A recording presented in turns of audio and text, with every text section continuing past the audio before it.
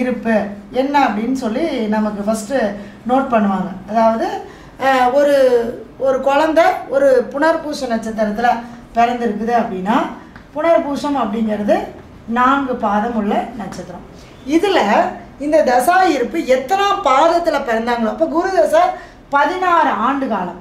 இப்போ இந்த குழந்தை பிறந்தது வந்து முதல் பாதத்தில் பிறந்திருந்தால் அந்த முதல் பாதத்திலேருந்து பதினாறு வருடம் அது திசை நடத்தும். இரண்டாவது பாதத்தில் பிறந்திருந்தால் அதை நாளாக நம்ம டிவைட் பண்ணி அதுக்கப்புறம் வந்து பார்த்திங்கன்னா அந்த குறிப்பிட்ட ஆண்டுகள் மட்டுமே இருக்கும். அதுதான் இந்த திசா இருப்பு. ஒரு நாலு வருஷம் அஞ்சு வருஷம் இப்படி இருக்கும். இந்த திசா இருப்பு அப்படிங்கிறது எப்படி வந்தது அப்படின்னா நம்ம முன் ஜென்மத்தில் நம்மளுடைய இந்த ஆத்மா இறக்கும் தருவாயில் எந்த நட்சத்திரத்தில் வரைக்கும் நமக்கு திசை இருந்து நம்ம அந்த திசை முடிவில் நம்ம இறக்குறோமோ அதே திசையுடைய நட்சத்திரத்தில் அடுத்த பிறவியில் நம்ம பிறப்போம். இதுதான். அதுதான் நட்சத்திர நம்ம என்ன சொல்லுவாங்க? நட்சத்திர நம்ம பிறக்கக்கூடிய நட்சத்திரம் என்ன அப்படிங்கிறது. இது என்ன அப்படின்னா இப்போ நமக்கு வந்து இப்போ வந்து நம்ம குரு திசையில் பிறக்கிறோம். ஒரு சுக்கர திசை சூரிய திசை வருது. சூரிய திசை இருக்கும்போது நம்ம இறந்துறோம். அப்போ அந்த சூரிய திசையில் என்ன வரைக்கும் இருப்பு போச்சோ நம்ம இருந்தோமோ அது போக மீதி தசா இருப்பு போக மீதி அப்படின்னு சொல்லுவாங்க. அதாவது கர்ப்பத்தில் சென்ற சென்ற நாளிகை நின்ற நாளிகை அப்படின்னு சொல்லுவாங்க. அதுதான் அந்த கால்குலேஷன் திசா இதோடைய கணக்கு. சரிங்களா? அப்போ அப்படிப்பட்ட நமக்கு வந்து பார்த்திங்கன்னா இந்த இருபத்தி ஏழு நட்சத்திரத்தில் நம்ம ஒவ்வொரு நட்சத்திரத்துலேயும் நான்கு பாதங்கள் இருக்குது இப்போ இரு இன்னைக்கு வந்து இருபத்தேழு நட்சத்திரமும் நூற்றி எட்டு பாதமும் கர்ம வினைகளை தீர்க்கும் கர்ம கோயில்கள் தான் நம்ம இன்றைக்கி கொடுக்க போகிறோம் இந்த பதிவை நீங்கள் முழுமையாக பாருங்கள் அப்போ தான் உங்களுக்கான அந்த கோயில்கள் வரும்போது கண்டிப்பாக உங்களுக்கு அது நமக்கு தெரியும். சரிங்களா? இப்போ வந்து என்ன அப்படின்னா முதல்ல வந்து ஒரு நட்சத்திரம் அதனால தான் நம்ம வந்து நட்சத்திரத்தை சொல்லி அர்ச்சனை பண்ணுவோம். ஏன் நட்சத்திரத்தை சொல்லி அர்ச்சனை பண்ணுறோம் கோவிலுக்கு போனால் நட்சத்திரம் தான் கேட்குறாங்க நீங்கள் என்ன லக்னத்தில் பிறந்தீங்க? நீங்கள் எந்த நாளில் பிறந்தீங்கன்னு கேட்கறது இல்லை உங்கள் நட்சத்திரம் என்ன? ஜென்ம நட்சத்திரம். அதுதான் நம்மளுடைய ஜென்ம நட்சத்திரம். ஜென்ம ராசி. எந்த நட்சத்திரத்தில் எந்த ராசியில் நிற்குதோ அதுதான் நம்மளுடைய ராசியாக இருக்குது சரிங்களா? அப்போ முதல் நட்சத்திரம் அப்படின்னா அதாவது இருபத்தி ஏழு நட்சத்திரத்துக்கு ஒரு நட்சத்திரத்திற்கு முதல்ல நான்கு பாதம். இருபத்தேழு நட்சத்திரத்துக்கு முதல்ல என்ன நம்ம தெரிஞ்சுக்கணும்னா ஒரு நட்சத்திரத்துக்கு நான்கு பாதம். அப்போ இருபத்தி ஏழு நட்சத்திரத்திற்கு பார்த்தீங்கன்னா மொத்தம் நூற்றி எட்டு பாதம். அதனால தான் நூற்றி எட்டு அப்படிங்கிறது ஒரு ஸ்பெஷலான ஒரு நம்பராக இருக்குது நம்ம அந்த காலத்துலலாம் பார்த்திங்கன்னா எல்லாமே நூற்றி எட்டு நூற்றி எட்டுன்னு தான் சொல்லுவாங்க. ஆலயங்கள்லேருந்து நம்ம ஒரு வழிபாடுகள் பண்ணுறதுலேருந்து நம்ம ஒரு மந்திரங்கள் சொல்கிறதுலேருந்து எல்லாமே நூற்றி எட்டு சொன்னால் தான் முழுமையடையும். அப்படிங்கிறது தான் ஒரு கணக்கு.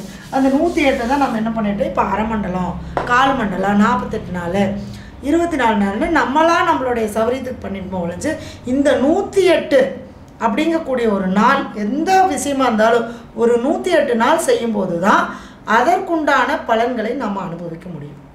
நம்ம என்ன பண்ணிடுறோம்? நம்ம பத்து நாள் செஞ்சுட்டு பதினோராவது நாள் அந்த பலன் எதிர்பார்க்கணும்னா எதிர்பார்க்க முடியாது. ஏன்னா ஒரு விஷயம் நமக்கு பழகிறதுக்கு ஏன்னா ஒரு நட்சத்திர பாதம் என்பது ஒரு நட்சத்திரத்துக்கு நான்கு பாதங்கள். அப்போ அந்த நூற்றி எட்டு நாட்கள் எதை செஞ்சாலும் நூற்றி எட்டு முறை எழுது. நூற்றி எட்டு முறை படி நூற்றி எட்டு முறை சொல்லு நூற்றி எட்டு முறை எழுது அப்படின்னு சொல்கிறாங்களே இப்போ ஒரு பேரே எடுக்கிறோம். நமக்கு ஒரு பேர் மாற்றி வைக்கிறோன்னா நூற்றி எட்டு முறை எழுதுங்க அப்படின்னு சொல்கிறாங்க இல்லையா? அது என்னென்னா பதிவாகும். அதுதான் பிரபஞ்சத்தில் பதிவாகக்கூடிய ஒரு விஷயம் என்பது அந்த நூற்றி எட்டு சரிங்களா? இப்போ விசாக நட்சத்திரத்துக்கு அப்படின்னு பார்த்தீங்கன்னா விசாக நட்சத்திரம் குருவுடைய நட்சத்திரம். துலா ராசியில் பிறந்திருக்காங்க. இவங்க வந்து பார்த்தீங்க அப்படின்னா ரொம்ப கரெக்டாக இருப்பாங்க. இந்த கரெக்டாக இருக்கிறதுனாலயே தான் இவங்க நிறைய பிரச்சனைகளையும் இவங்க அனுபவிக்கிறாங்க. சரிங்களா? இவங்களுக்கு வந்து பார்த்திங்கன்னா அதாவது இந்த விசாகம் ஒன்றாம் பாதத்தில் பிறந்தவங்களுக்கு மெயினாக ஒரு பிரச்சனை என்னென்னா திருமணத்துக்கு அப்புறம் அவங்களுடைய தாய் மூலமாக இவங்களுடைய வாழ்க்கையில் ஒரு பெரிய பூகம்பம் வெடிக்கும். சரிங்களா? அதே மாதிரி சுய சொத்து. நான் ஒரு எவ்வளவோ முயற்சி பண்ணுறேன் என்னால் ஒரு சொத்து வாங்க முடியல. ஒரு சொத்தை அனுபவிக்க முடியல ஒரு வீடு கட்ட முடியல ஒரு வாகனம் வாங்க முடியல.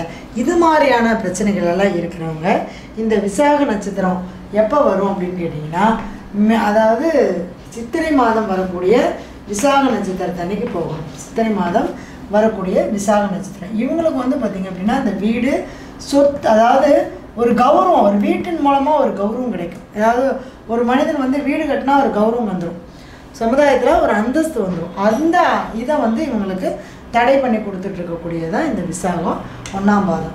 அப்போ இந்த விசாக நட்சத்திரம் ஒன்றாம் பாதத்தில் பிறந்தவங்க குரு ஓரையில் போகலாம் முதல்ல நீங்கள் ஞாபகம் வச்சுக்கணும். முதல்ல ஒன்றாம் பாதம் வரக்கூடிய நேரம் அல்லது குரு ஓரையில் இவங்க வந்து பார்த்திங்க அப்படின்னா திருத்துறை பூண்டியில் இருக்கக்கூடிய திருவாரூர் மாவட்டத்தில் திருத்துறை பூண்டியில் இருக்கக்கூடிய எட்டு குடி முருகன்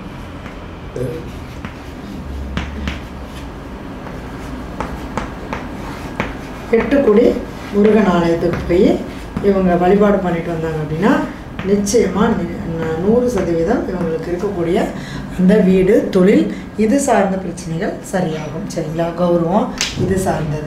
அடுத்தது அதாவது விசாக நட்சத்திரம் ஒன்றாம் பாதத்துக்கு சித்திரை மாதம் வரக்கூடிய விசாக நட்சத்திரத்தனைக்கு திருத்துறை பூண்டு இருக்கக்கூடிய எட்டு குடி முருகனை வழிபாடு பண்ணிட்டு வரணும். அடுத்தது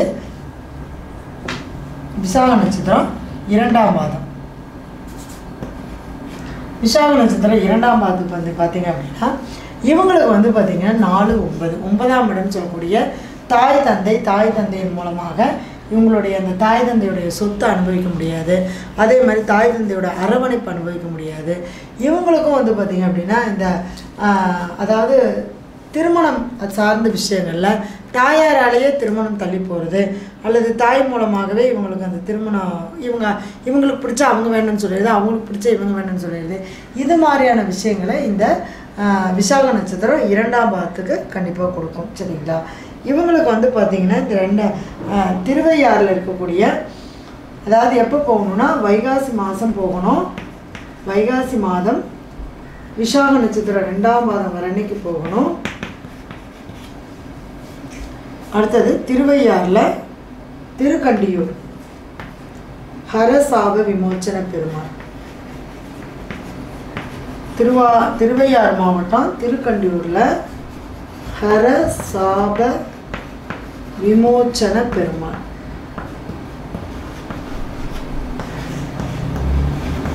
இந்த ஆலயத்துக்கு போய் நீங்கள் வழிபாடு பண்ணிட்டு வந்தீங்க அப்படின்னா நிச்சயமாக நமக்கு ஒரு நல்ல மாற்றம் முன்னேற்றம் கண்டிப்பாக கிடைக்கும். அடுத்தது விசாக நட்சத்திரம் மூணாம் பாதம் இந்த விசாக நட்சத்திரம் மூணாம் பாதத்தில் பிறந்தவங்களுக்கு பார்த்தீங்க அப்படின்னா வம்சத்தில் நமக்கு மிதனத்துக்கு போயிடும் சரிங்களா? அடுத்தது வந்து பார்த்திங்கன்னா இவங்களுக்கும் வந்து பார்த்திங்கன்னா ஒரு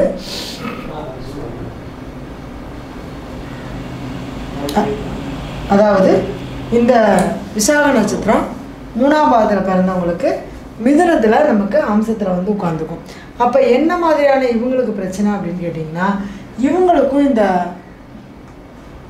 மூணாம் பாதம் சொல்லிட்டுமா? இல்லை. இல்லை. மூணாம் பாதத்தில் பிறந்தவங்களுக்கும் என்ன மாதிரியான பிரச்சனை வரும்னா இந்த விசாக நட்சத்திரனாலே திருமணம் திருமணம் சார்ந்த பிரச்சனை வரும்.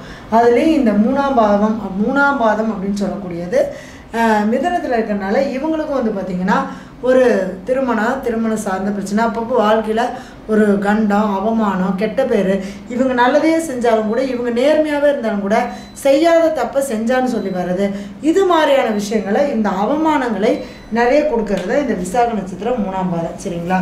இவங்களுக்கு வந்து பார்த்திங்க அப்படின்னா ஆணி மாதம் வரக்கூடிய விசாக நட்சத்திரத்தன்னைக்கு மூணாம் பாதம் வரக்கூடிய நேரத்தில் எப்போ எங்கே போகணுன்னா ஒசூர் மாவட்டத்தில் சூரிய சந்திரேஸ்வரர் சூரிய சந்திரேஸ்வரர் ச சந்திர சூடேஸ்வரர்.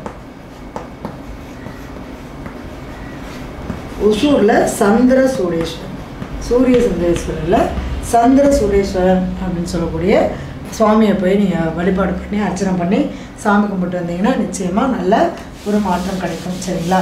அடுத்தது விசாக நட்சத்திரம் நாலாம் பாதம் விசாக நட்சத்திரம் நாலாம் பாதம் பார்த்தீங்க அப்படின்னாலே எங்கே வந்துடும் அப்படின்னா உங்களுக்கு வந்து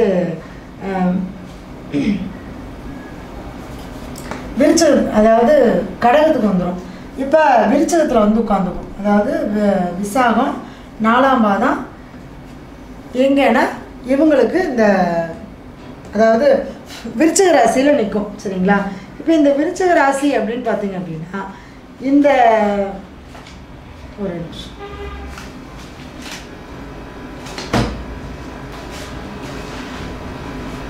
ஒரு நிமிஷம். அதாவது விசாக நாலாம் பாதம் இந்த விசாக நாலாம் பாதம் அப்படிங்கிறது என்னென்னா விருச்சக ராசியில் இருக்கும். இவங்களுக்கு வந்து வாழ்க்கையில் என்ன மாதிரியான ஒரு பிரச்சனை வரும் அப்படின்னு கேட்டிங்கன்னா அம்சத்தில் நாலாம் பாவத்துக்கு போயிடும் இவங்களுக்கு வந்து பார்த்திங்கன்னா இவங்களுடைய மனம் இவங்களுடைய பிரயாணம் அதே சமயத்தில் இந்த மார்க்கெட்டிங்கு சிறு தூர பிரயாணம் இது சார்ந்த விஷயங்களில் இவங்களுக்கு ஒரு பிரச்சனையை கொடுக்கும். அதே மாதிரி நீண்ட தூர பிரயாணம் போக முடியாது. உயர்கல்வியில் ஒரு தடையை கொடுக்கும். இவங்களுடைய முயற்சிகளில் தடையை கொடுக்கும். இது மாதிரியான விஷயங்களை இந்த விசாக நட்சத்திரத்தில் நாலாம் பாதத்தில் பிறந்தவங்களுக்கு கண்டிப்பாக இருக்கும். இவங்களுக்கு வந்து பார்த்திங்கன்னா எங்கே போகணும் அப்படின்னா ஆடி மாதம் வரக்கூடிய விசாக நட்சத்திரத்தன்னைக்கு கேரளாவில் திருவனந்தபுரத்தில் இருக்கக்கூடிய பத்மநாம சுவாமி பத்மநாத சுவாமி திருவனந்தபுரத்தில் இருக்கக்கூடிய பத்மநாப சுவாமி பத்மநாப சுவாமி இந்த ஆலயத்துக்கு போய் நீங்கள் வழிபாடு பண்ணி அர்ச்சனை பண்ணி சாமி கும்பிட்டு வந்தீங்கன்னா நிச்சயமாக ஒரு நல்ல மாற்றம் கிடைக்கும் சரிங்களா? அடுத்ததா நம்ம விஷால நட்சத்திரம் முடிஞ்சது. இப்போ அடுத்து வந்து அனுஷம். அனுஷ நட்சத்திரம். நிறைய பேர் அனுஷம் கேட்டிருந்தீங்க உங்களுக்கான பதிவு.